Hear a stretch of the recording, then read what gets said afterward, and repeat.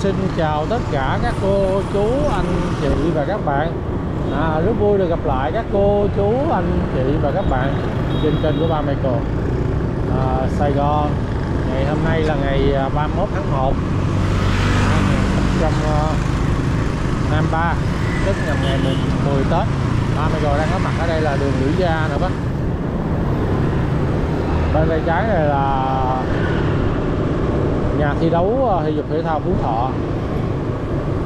Hay là nó là trường đua Phú Thọ đó. Bên đây là cư xá Lữ Gia. À, mình dạo quẹo một vòng mình đi dạo một vòng cũng được ha. Đây cư xá Lữ Gia.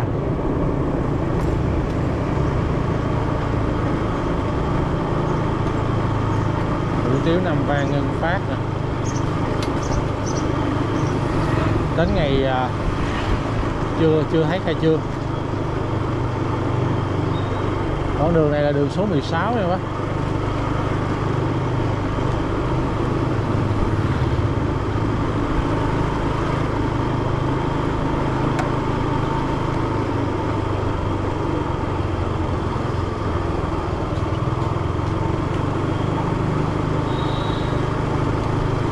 Vinh Group Vinh Group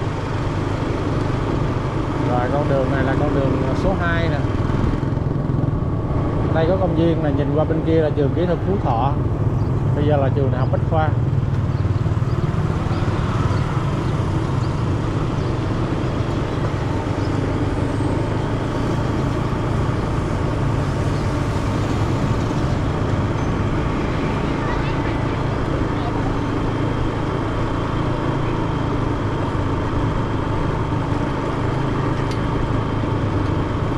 du lịch Phú Thọ nằm đây ha bún bò gia hội này cũng nổi tiếng ngon nè.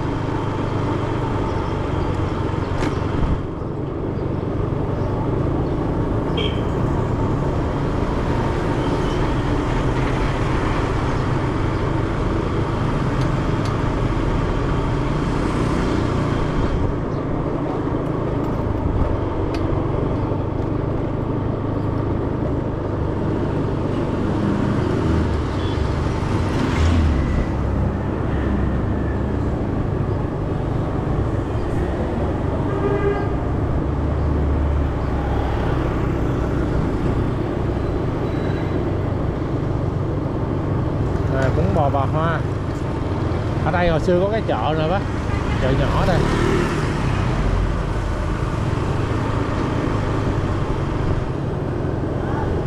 Trường trung học cơ sở Lữ Gia.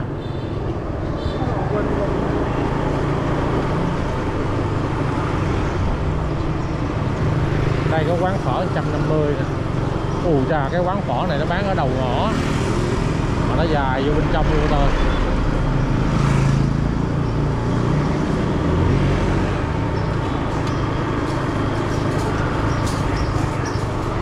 chính Tết là mới bán lại ngày hôm qua. Ủa ba mày còn nhớ thì đó là nó bán ngay góc đường này nè. Bây giờ nó đổ qua luôn à đổi rồi vậy quán cỏ giờ ra ngoài đó rồi.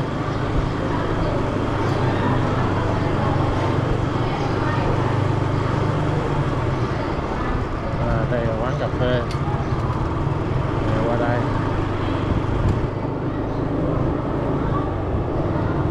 Cà phê Viva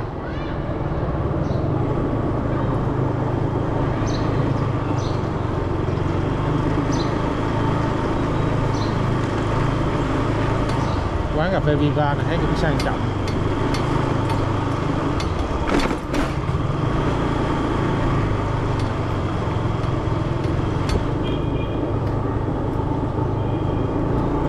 Đường này đường số 1 rồi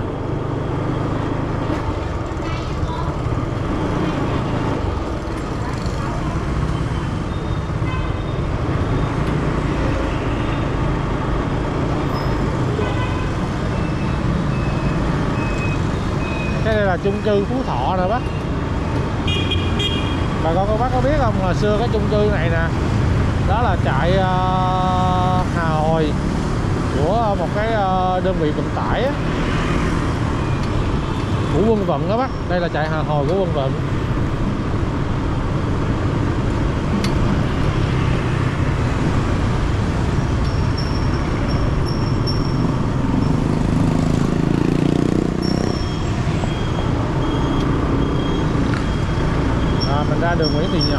30 rồi đi ngang rồi đi à, ra chợ thép coi coi bà con hôm nay có xếp hàng à, chen lính đi à, mua vàng không?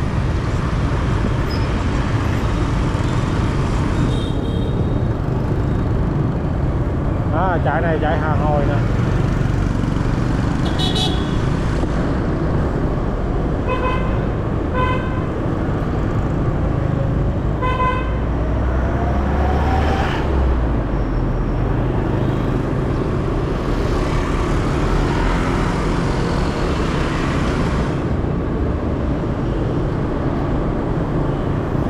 Một cái ờ, đền thánh Vincente là nguyên cái building chung cư này nè bác. Trước năm 1975 á nơi đây là một cái liên đoàn liên đoàn năm Địa Động Quân là đóng ở đây nè bác. Trại này là trại ờ, Bắc Bình Vương à, của liên đoàn năm Địa Động Quân.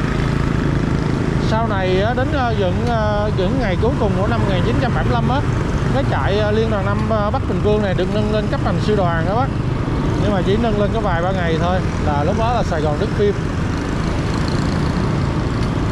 Biệt Cộng Quân là đến những ngày cuối cùng của ờ, 30 tháng 4 năm 1975 là được nâng cấp lên sư đoàn nha bác. Là lên bộ tư lệnh đó. Còn bình thường này là chỉ là bộ chỉ huy thôi. Đây là liên đoàn 5 giải Bắc Bình Vương.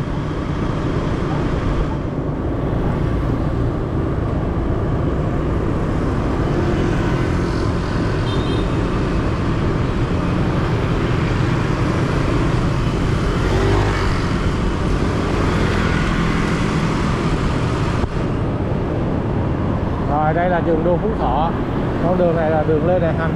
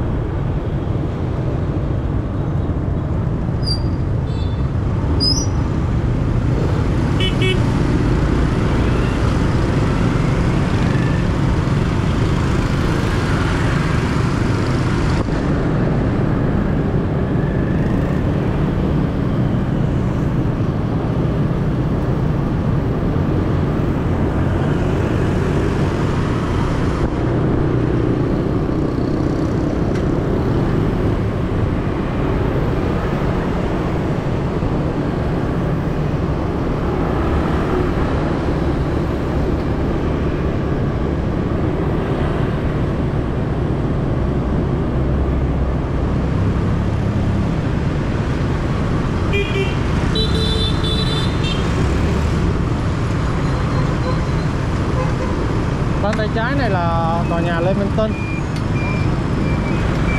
thỉnh thoảng ba mẹ cầu cũng dẫn mấy tụi nhỏ lên Lê Minh Tinh này đi tắm hồ bơi rồi đó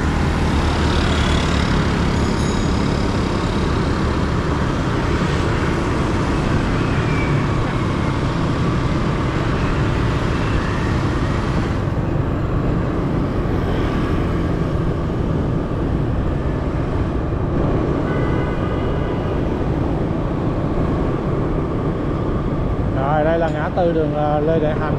Ồ, qua luôn qua luôn Bên kia là bồn nước nè Được xây dựng vào năm 1968 Đây là chung khách sạn Hoàng Diệu Cũng được xây dựng vào hồi năm đó luôn.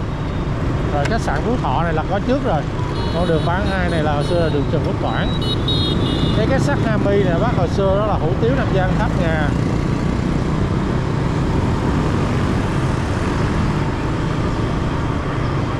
Rồi đây là con đường phố Cơ Điều nữa bác. Khu này là khu chợ thiết Khu cha, bán đồng hồ giờ nó dạt qua bên đây luôn nè. Hình như là sự- cái nghề sửa đồng hồ nó ngon lắm sao á Ba rồi thấy khu này nhiều người là ra làm quá. Mở tiệm quá trời luôn á. Không biết có ngon ăn không mà sao thấy nhiều người làm quá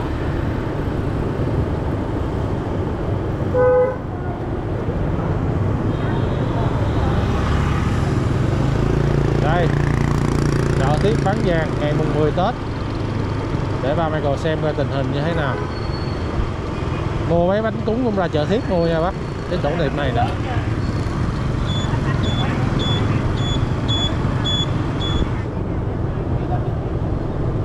ồ ơi, công an đứng à thấy vắng quá bác. Vắng quá. Đây ờ vắng te. Rồi. Đáng lý là nó phải đông chứ ta. Vắng quá bác có những tiệm vàng ngồi chơi luôn nè. À, tiệm vàng ngồi chơi không có một khách luôn. Trái ngược với suy nghĩ của ba Michael nha. Đây để ba Michael chạy lại thêm lần thôi ô có những tiệm vàng vắng quá. Ngồi chơi luôn á ba Michael nói thật á không có ai khách vô, không có một khách luôn.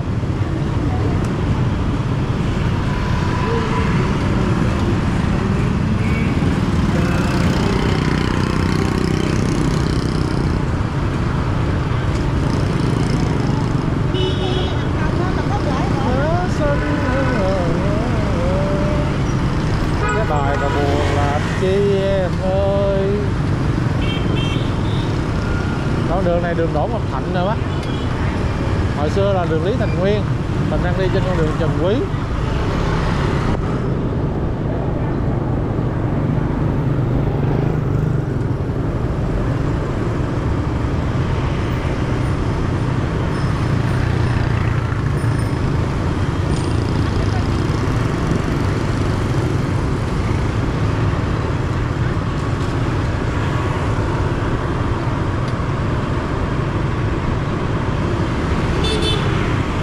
đây là đường Trần Quý phía trước mặt bà con bác bên tay trái là đường Dương Tử Giang nè. Con đường Dương Tử Giang này hồi xưa là đường Mạnh Tử.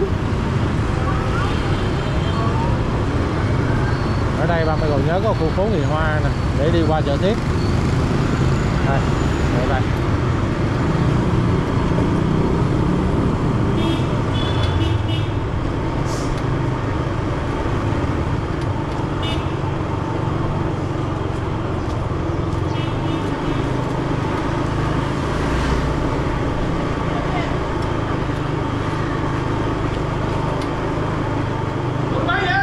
cái gì đó hết không cái gì vậy Rồi đây con đường này đường Tân Phước nè cuối đường Tân Phước à, nhà nào cũng có cái lò để đốt vàng mã mùa Tết này là mùa Tết người Hoa người ta đốt nhiều lắm nhá, thấy không nhà nào cũng đốt một lò ba mẹ còn nhớ hồi xưa là nhà càng giàu là đốt càng nhiều nha bác Chà. Ồ. Quay mỗi lần quá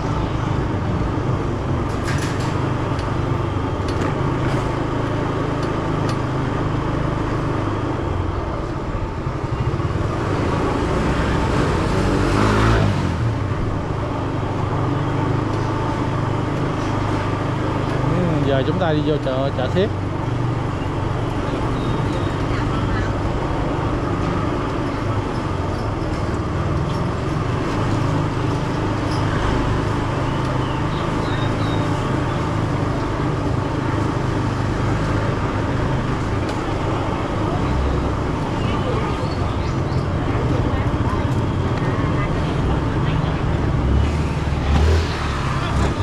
Ồ, cá lóc nướng bán sạch sẽ luôn nè à,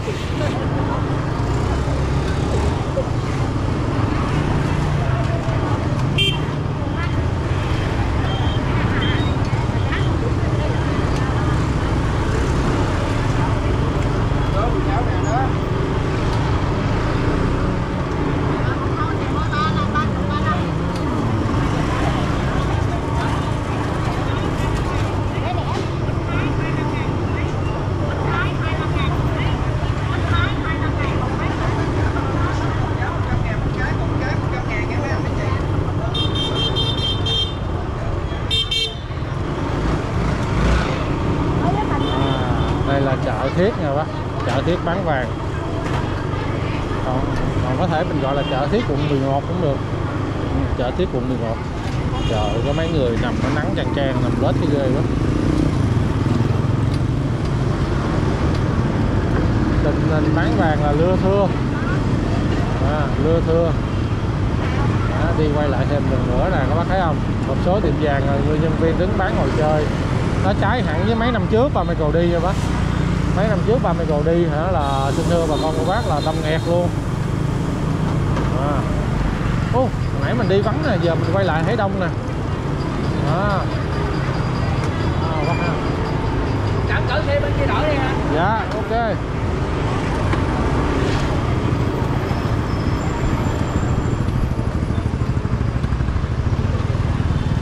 đó chưa chưa vắng không có tiệm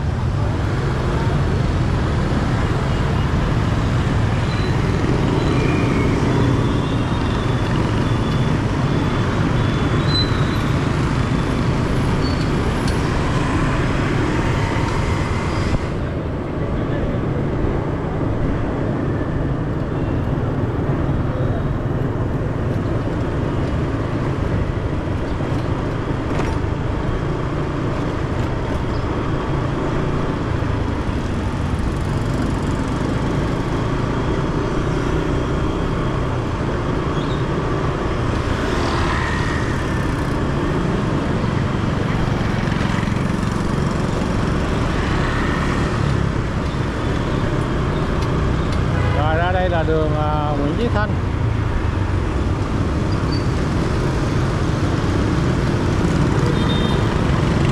Nguyễn Chí Thanh với phố cơ điều. Đi đi này là cửa hàng bán đồ nhật này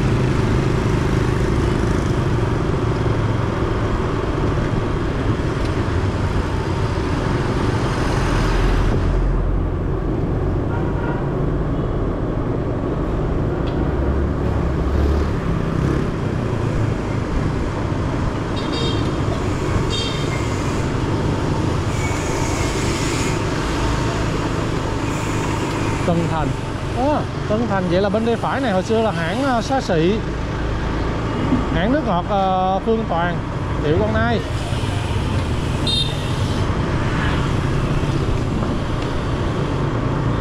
Rồi, con đường này đường Phạm Hữu Chí. Ở chợ này là chợ Tân Thành nha bác. Hôm bữa trước à, là thị trường ở đây bắt dữ lắm. Nhưng mà bà con bác thấy không? Sau khi bắt xong thì giờ nó cũng trở lại như cũ. Đây đây là toàn bán mấy đồ luôn hầu như là không có cái có, có bán nguyên chiếc rồi bác. Là tất cả các phụ kiện là được rã ra rã sát ra.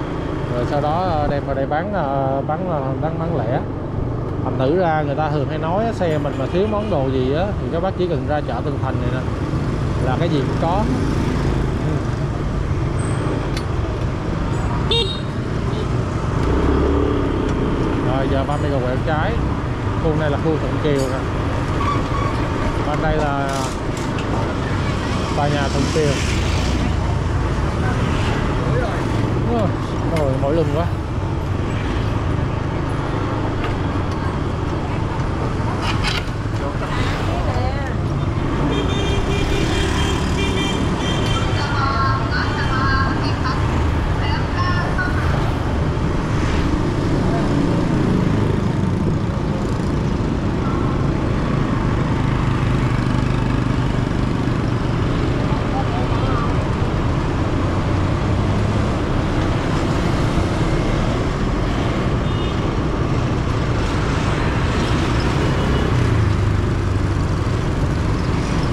rồi cái đường này vườn Dương Tử Giang là xưa Mạnh Tử nè bên tay phải ba mươi gò đây là bác hồi xưa đó là à, boss Hòa Hòa một cái boss của cảnh sát đặc biệt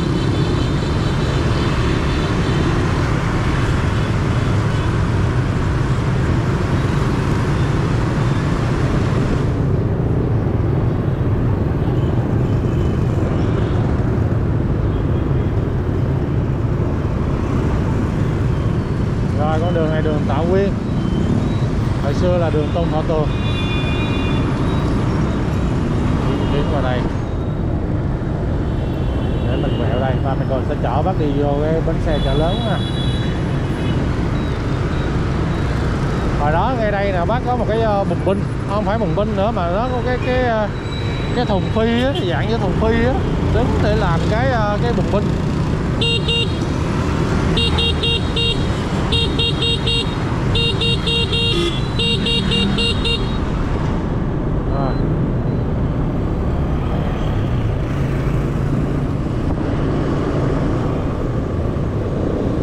Tay trái là nhà thờ Cha Tam nè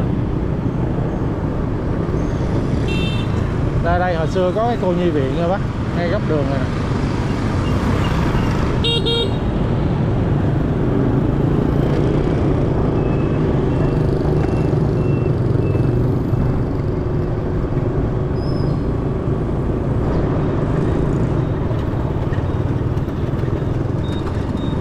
À đường Trần Chánh Chiếu nè, đây là chợ gà nè bác chợ gà chừng Chánh Chiếu.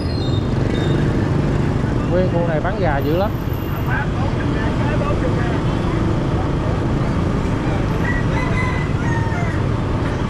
Trời, bắt đầu nóng lên rồi nè. 11 giờ trưa rồi đó. Này, bến xe buýt chợ lớn. Hồi xưa không có chữ buýt, chỉ có bến xe chợ lớn thôi. Để đi về hai tỉnh, Long An với Tiền Giang. Chợ này người ta gọi là chợ sớm voi à, chuyên bán trái cây uh, giá rẻ lắm. Ở dưới miền Tây lên mảng cầu nè ba 30 ngàn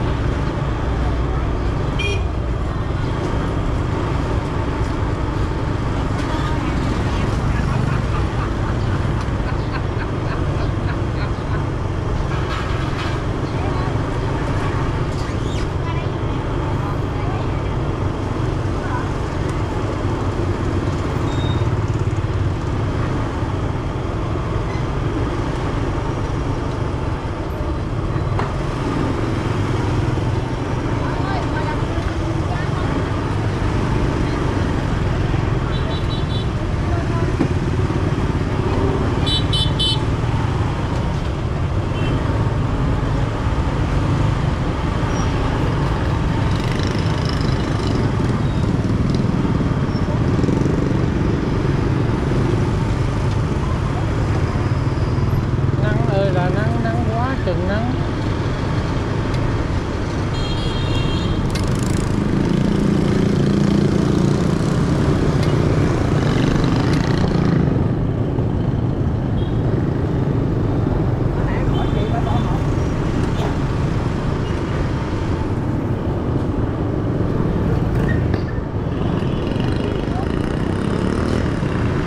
Rồi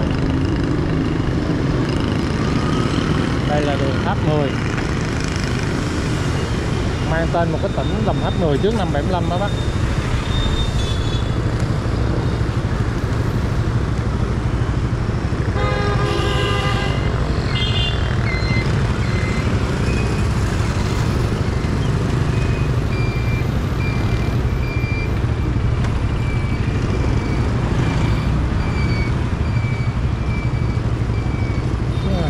doanh nghiệp tiệm vàng Kim Hưng Phát Thành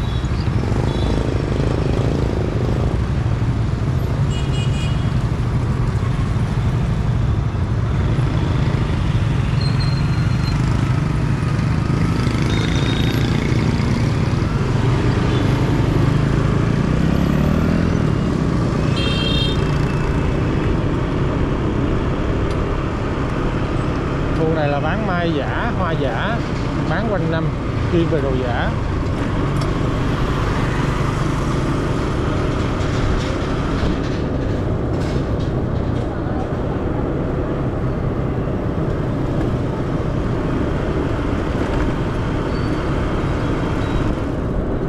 Bên tay trái này là công viên Thăng Long nè, bên phải này là Á Đông Tủ Lầu.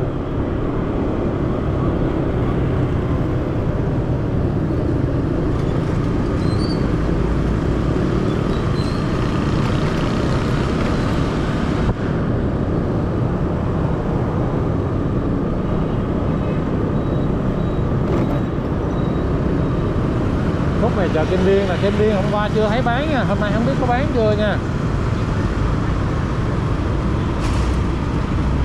Ồ, chợ Kim Biên bán lại rồi nè, bác. À. bên tay phải ba Michael đây là hồi xưa trước năm 75 là hãng xà bông Cuba của ông Trương Văn Bền đó, bác. Ông tổ của ngành công nghiệp Việt Nam đó.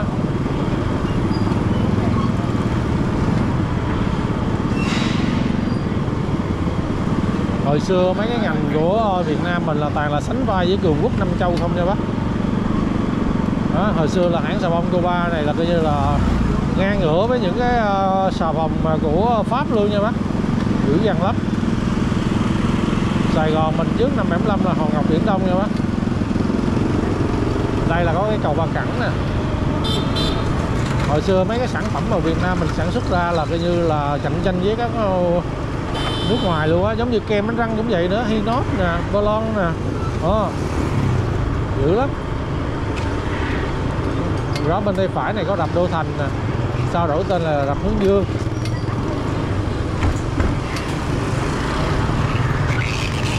Đường này đường Vũ Chí Hiếu nè, hồi xưa là đất Vũ Thoại. Nơi đây quẹo vô là có nhà của ông Mã Tuyên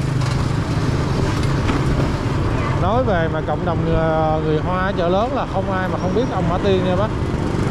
À, người đứng đầu của phòng thương mại Trung Hoa đó. Sau này gì mà chứa chấp cho hai anh em Ngô Đình Diệm và Ngô Đình Du á cho nên ông bị bỏ tù. Ôi bây giờ mà cũng còn đồ bán đồ trang trí Tết nè. Hết Tết rồi mà ta đến Tết nhưng mà vẫn bán đồ trang trí Tết. Mà nhưng mà bây giờ lạ đời cũng có người mua nữa nha bác. À, trên đời này có nhiều cái chuyện mà mình nghĩ đơn tưởng tưởng chừng không phải nhưng mà nó vẫn phải nha bác. À, hết Tết rồi bán đồ Tết. Vẫn có người mua lại mua đồ Tết. Chắc có lẽ người ta ăn Tết trễ. Hoặc là có thể là những người bán này coi như là họ bán chơi cho vui chứ giờ đâu còn biết bán mặt hàng nào đó trời ơi! Đúng là cái chợ này nha bác. Bây giờ đem nhiều ra bán. Ồ oh, hết tết là bán nhiều. Tôi nói cái chợ này quanh năm nó bán theo mùa bác. Mùa gì là bán đồ là mùa đó. Rồi sau khi mà hết mùa đồ tết này là các bác tưởng họ ế hả? Xin thưa bà con các bác không phải đâu nha. Đó, hết tết đem mấy đồ này vô cất năm sau bán tiếp. Lạ lắm. Và bây giờ á xin thưa bà con các bác cái người mà nhà sản xuất đó nó cũng khôn nữa hồi xưa là sản xuất ghi luôn cái số năm rồi đó. À, giống như năm uh, kỷ mão kỷ mười mậu thìn rồi gì đó. Nhưng mà khi mà bán hết cái tự nhiên bỏ uổng. Bây giờ là mấy đồ trang trí tết là không có để năm lên trển nha bác. Không có để gì hết để gì bán không hết làm sao bán tiếp. Đó bây giờ họ khôn lắm. Rồi ra lên tới đây là cầu chào bà rồi thôi ba mươi rồi xin chào tạm biệt tất cả các cô chú, anh, chị và các bạn. Xin hẹn gặp lại các cô chú, anh, chị và các bạn vào video lần sau. Bye bye.